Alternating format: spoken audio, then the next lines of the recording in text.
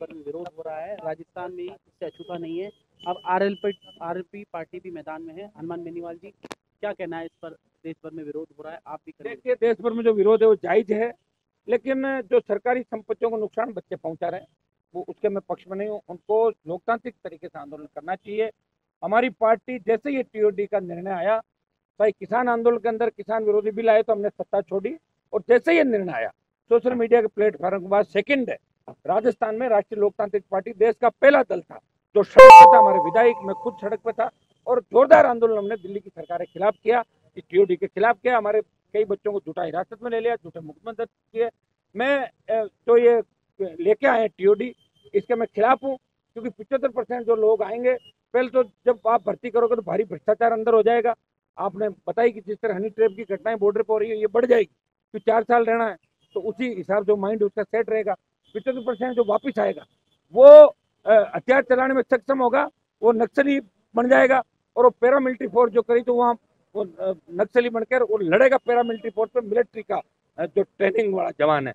तो देश में हाहाकार मच जाएगा गृह युद्ध की स्थिति देश के अंदर हो जाएगी। केंद्र सरकार के मंत्री गुंडा बता रहे हैं जो लोग गिरिराज सिंह की मानसिक स्थिति ठीक नहीं है इतना बड़ा मेहकमा दे दिया उनको उनके बस की बात नहीं है बड़बोले हैं वो ज़्यादा बोलते हैं और बाद में माफ़ी भी मांग लेते हैं उनका ब्लड प्रेशर हाई रहता है दवाइयाँ खाने में लंबे समय सर राजस्थान में हाल ही में जो राज्यसभा चुनाव हुए बीजेपी का एक वोट विरोध हुआ है। बीजेपी का जो एक वोट विरोध में वसुंधरा गहलोत ने करा दिया और दो वोट जो घनश्याम जी तिवाड़ी को ज़्यादा मिले वो पार्टी के प्रदेश अध्यक्ष छोटे वाले भाई साहब बैठते ना करेले उन दोनों ने मिलकर करवा दिया। तो क्या लग रहा है बीजेपी में फूट बीजेपी में चौदह बारह तेरह दूल्हे एक लुटेरी दुल्हन कांग्रेस तो खत्म हो गई राजस्थान के अंदर। आपका दूल्हा कौन रहेगा?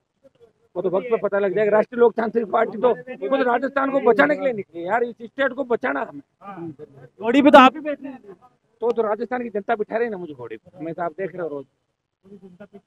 ये थे हनुमान बेनीवाल जिन्होंने साफ़ तौर पे कहा कि राजस्थान की जनता मुझे घोड़ी पर बैठा रही है।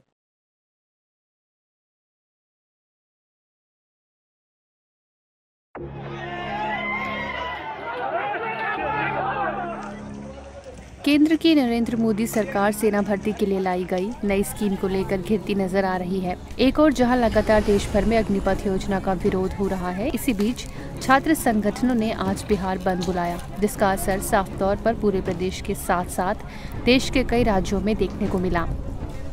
इस बीच, इस योजना को लेकर देश भर में चल रहे बवाल के बीच, सरकार कई तरह के ऐलानों से इस पूरे विवाद को खत्म करने की कोशिश कर रही है। इसके लिए सरकार की तरफ़ से योजना को लेकर कई ऐलान किए जा रहे हैं। गृह मंत्रालय के अग्निवीरों को भर्ती में आरक्षण वाले ऐलान के बाद, अब रक्षा मंत्री राजनाथ सिंह की तरफ़ से कुछ ऐलान किए गए हैं।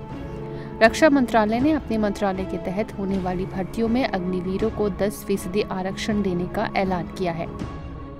रक्षा मंत्रालय ने ट्वीट कर इस फैसले की जानकारी दी है। रक्षा मंत्रालय की ओर से किए गए ट्वीट में ये कहा गया है कि मंत्रालय की भर्तियों में अग्निवीरों के लिए 10 फ़ीसदी आरक्षण के प्रस्ताव को रक्षा मंत्री राजनाथ सिंह ने मंजूरी दे दी है। रक्षा मंत्री राजनाथ सिंह की ओर से मंजूरी मिलने के बाद अब ज़रूरी संशोधन किए जाएँगे। इसके बाद ये फैसला लागू हो जाएगा। तो वहीं राजनाथ सिंह के इस बड़े ऐलान से पहले गृह मंत्रालय की ओर से भी बड़ा ऐलान करते हुए केंद्रीय आर्म्ड पुलिस फोर्स और असम राइफल्स की भर्ती में अग्निवीरों को 10 फ़ीसदी आरक्षण देने का ऐलान किया गया है। आपको बता दें कि पिछले चार दिनों से देश के अलग अलग राज्यों में अग्निपथ योजना को लेकर बवाल लगातार जारी है। कई जगहों पर प्रदर्शन के नाम पर आगजनी और तोड़फोड़ की जा रही है। देश भर के युवा सरकार से अपील कर रहे हैं कि वो इस फैसले को तुरंत वापस लें। हालाँकि सरकार युवाओं को शांत करने के लिए इस योजना में कई तरह के बदलाव कर रही है।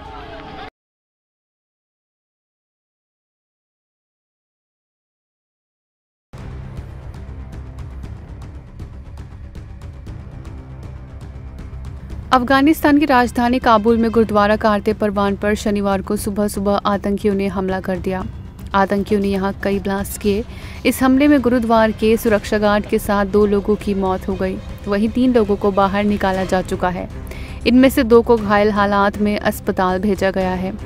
इस घटना में कम से कम 25 लोगों के हताहत होने की आशंका है। एक चश्मदीद ने बताया कि हमलावरों ने अचानक गुरुद्वारे पर धावा बोल दिया और फिर ताबड़तोड़ फायरिंग करने लगे। कुछ लोग जान बचाने के लिए बिल्डिंग के दूसरी तरफ़ छिप गए। काबुल में हुए हमले पर भारतीय विदेश मंत्रालय भी नज़र बनाए हुए है। विदेश मंत्री एस जयशंकर ने गुरुद्वारे पर हुए हमले की निंदा करते हुए ट्वीट कर लिखा कि गुरुद्वारा करते परवान पर हुए कायरतापूर्वक हमले की कड़े शब्दों में निंदा की जानी चाहिए। हमले की खबर मिलने के बाद से हम घटनाक्रम पर करीब से नज़र बनाए हुए हैं।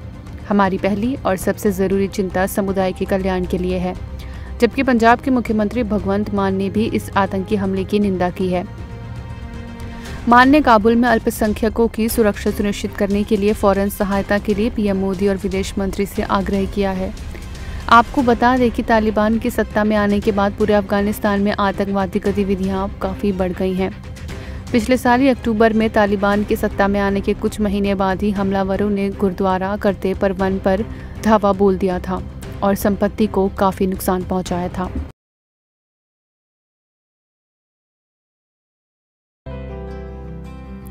माँ कोई शब्द नहीं है, बल्कि एक संसार है। भावनाएँ हैं। चंद शब्दों में कहा जाए तो माँ सब कुछ है। दुनिया में हर इंसान की ढेरों कहानियाँ अपनी माँ से जुड़ी होती हैं। नौ महीने अपने खून से सींचने वाली माँ बच्चे को जन्म देने से पहले काफ़ी दर्द से जूझती है। मगर जैसे ही उसके बच्चे का जन्म होता है, वो सारे दर्द को भुला देती है। कुछ ऐसी ही यादें हैं जो प्रधानमंत्री नरेंद्र मोदी की अपनी माँ से जुड़ी हुई हैं। आज पीएम मोदी की माँ हीराबेन अपने जीवन के सौवें साल में प्रवेश कर रही हैं, जिसको लेकर सुबह सुबह पीएम मोदी गांधीनगर में उनके घर पहुँचे और माँ से मुलाकात की।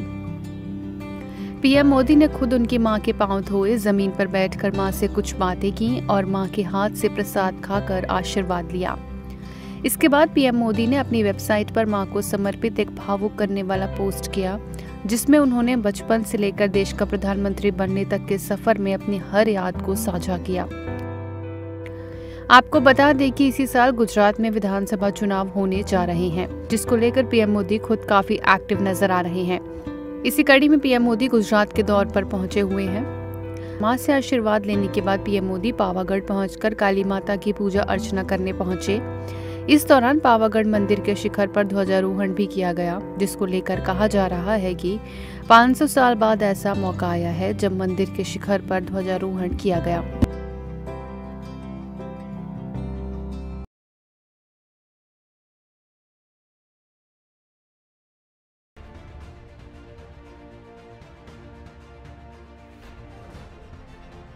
सरकार ने सेना में भर्ती के लिए अग्निपथ स्कीम का ऐलान क्या किया? सड़कों पर संग्राम शुरू हो गया। बिहार से लेकर उत्तर प्रदेश तक युवा सड़कों और रेल पटरियों पर उतर आए हैं। बिहार के मसौड़ी से लेकर यूपी के जौनपुर तक जो युवा सड़कों पर दौड़ लगाते, पुशअप करते और बीम खींचते नज़र आते थे, आज वही युवा हाथों में बाँस, बल्लियाँ और पत्थर लिए नज़र आ रहे हैं। मसौड़ी से जौनपुर तक बवाल मचा है। बिहार में हिंसक प्रदर्शन को देखते हुए 12 जिलों में 48 घंटे के लिए मोबाइल इंटरनेट सेवा को बंद कर दिया गया है। कई राज्यों में युवा सड़कों पर निकलकर इस योजना के खिलाफ विरोध प्रदर्शन कर रहे हैं। अग्निपथ स्कीम के खिलाफ कई संगठनों ने 18 जून को बिहार बंद का आह्वान किया था, जिसका व्यापक असर भी देखने को मिला। सुबह से दुकानें बंद रही। प्रदर्शनकारियों ने पूरे शहर की दुकानें बंद करा दी, जिसके बाद प्रदर्शनकारियों ने सड़क से लेकर रेलवे स्टेशन तक जमकर बवाल काटा। लगातार पत्थरबाजी के साथ कई जगहों पर आगजनी भी की गई। मसौड़ी में प्रदर्शनकारियों ने जीआरपी कार्यालय के पास सरकारी गाड़ी को आग लगा दी। हालात को नियंत्रण में लाने के लिए पुलिस ने आँसू गैस के गोले दागे और हवाई फायरिंग भी की। गौरतलब है कि देश भर में सेना में भर्ती को लेकर सरकार की नई नीति का ज़बरदस्त विरोध हो रहा है। दरअसल, युवा वर्ग सरकार की इस नीति से खुश नहीं दिखाई दे रहा है।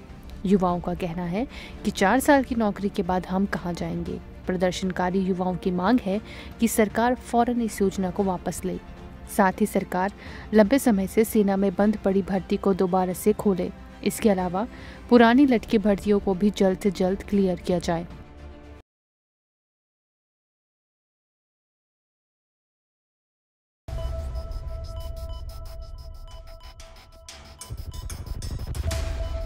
भारत में कोरोना का खतरा लगातार बढ़ता नज़र आ रहा है।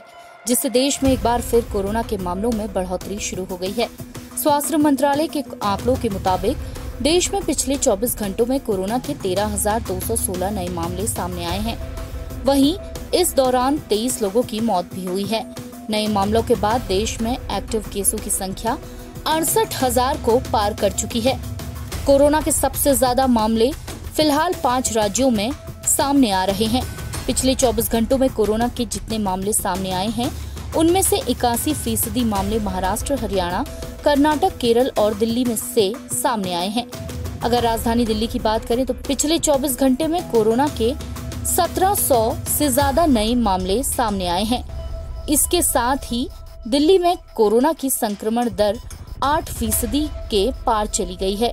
वहीं अगर महाराष्ट्र की बात करें तो प्रदेश में बीते 24 घंटे में कोरोना के 4000 से ज़्यादा नए मामले सामने आए हैं। तो वहीं केरल में भी बड़ा उछाल देखते हुए 3000 से ज़्यादा नए केस देखने को मिले हैं। गौरतलब है कि देश पहले ही कोरोना की तीन लहरों का दर्द झेल चुका है। इन लहरों में देश को जान मान का भारी नुकसान उठाना पड़ा। इस महामारी पर काबू पाने के लिए सरकार देश के सभी नागरिकों को कोरोना वैक्सीन की दो दो डोज खुद अपने खर्चे पर लगवा चुकी है वहीं अब प्रिकॉशन डोज के लिए लोगों से अपने खर्चे पर लगवाने की अपील की गई है जिसका ज़्यादा असर फ़िलहाल तो देखने को नहीं मिल रहा है